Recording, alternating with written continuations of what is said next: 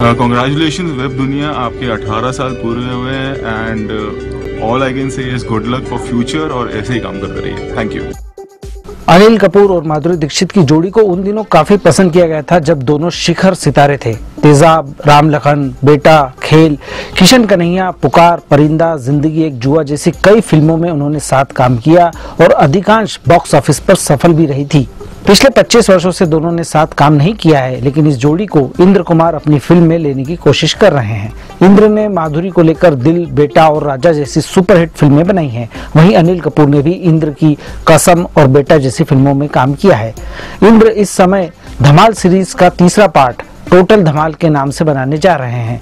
इस फ़िल्म के लिए अजय देवगन, रितेश देशमुख और अरशद वारसी को फाइनल कर लिया गया है। अनिल कपूर ने हामी भर ली है। अब माधुरी दीक्षित की हाँ का इंतज़ार है।